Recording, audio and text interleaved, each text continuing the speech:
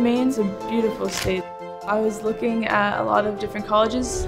The big difference for me was the price. CMCC is affordable. Coming to Maine is the coolest thing. They say that you make your lifelong friends in college. CMCC is a little community. I love living here. We all come together as a school. I'm going to leave here, I'm going to have a job set up.